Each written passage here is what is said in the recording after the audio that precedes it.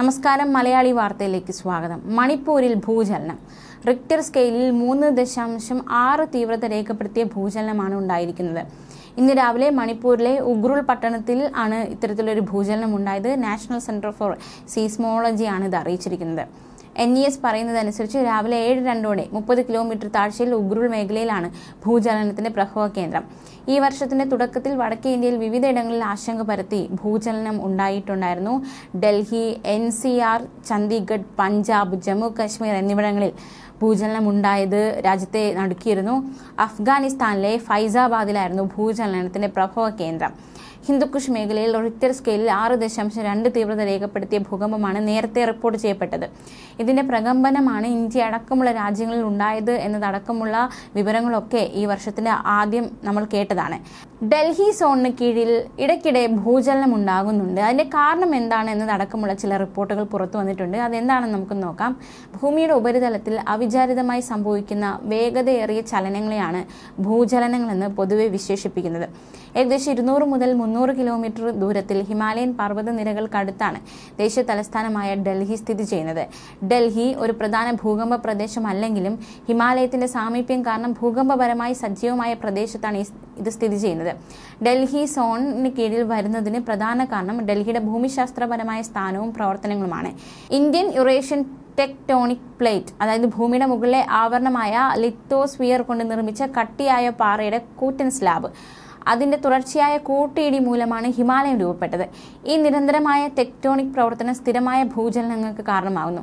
മാത്രമല്ല ഭൂകമ്പങ്ങളും മണ്ണിടിച്ചിലുകളും പോലുള്ള ആവർത്തിച്ച് ആവർത്തിച്ചുള്ള പ്രകൃതി ദുരന്തങ്ങളുടെ പ്രഭവ കേന്ദ്രമായും ഈ പ്രദേശം മാറുന്നു.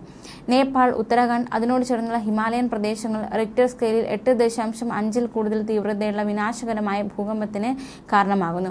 ഹിമാലയത്തിന്റെ സാമീപ്യമാണ് ഡൽഹിയെ സോൺ ഫോറിൽ നിന്ന് നിലനിർത്തുന്നതിന്റെ പ്രധാന കാരണങ്ങളിൽ ഏറ്റവും പ്രധാനം. ഹിമാലയൻ പ്രദേശം സോൺ അഞ്ചിന് കീഴിലാണ്. ഭൂകമ്പങ്ങൾ ഉണ്ടാകാനുള്ള ഏറ്റവും ഉയർന്ന അപകട സാധ്യതയെ സൂചിപ്പിക്കുന്നതാണ് അഞ്ച്.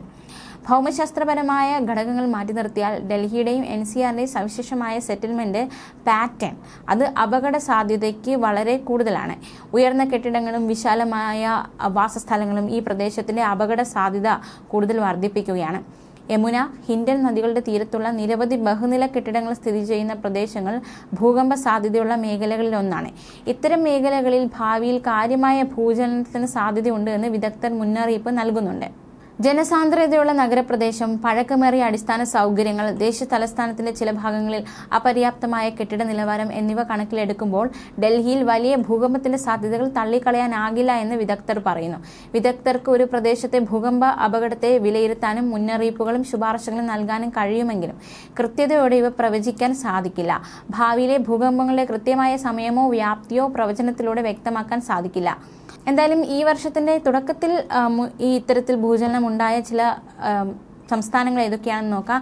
ജമ്മു കാശ്മീരിലെ പൂഞ്ച് ജില്ലയിലെ പിർ പഞ്ചലിന്റെ തെക്കു മേഖലയിൽ പ്രധാനമായും ഭൂചലനം ഉണ്ടായി ഭൂചലനത്തെ തുടർന്ന് പരിഭ്രാന്തരായ ആളുകൾ വീടുകളിൽ നിന്നും ഓഫീസുകളിൽ നിന്ന് പുറത്തിറങ്ങുന്ന സാഹചര്യമുണ്ടായി. ആളപായമോ മറ്റ് നഷ്ട നഷ്ടങ്ങളോ റിപ്പോർട്ട് ചെയ്തില്ല. ഇന്ത്യക്കൊപ്പം അയൽരാജ്യമായ പാകിസ്ഥാനിലും അന്ന് ഭൂചലനം ഉണ്ടായിട്ടുണ്ടായിരുന്നു. വീടുകളിൽ നിന്നും ഓഫീസുകളിൽ നിന്നും ആളുകൾ പുറത്തേക്ക് ഓടുന്ന ദൃശ്യങ്ങൾ അടക്കം പുറത്തു വന്നതാണ്. ഈ വർഷം ആദ്യം അഫ്ഗാനിസ്ഥാനിൽ തുടർച്ചയായ രണ്ട് ഭൂചലനങ്ങൾ റിപ്പോർട്ട് ചെയ്തിരുന്നു.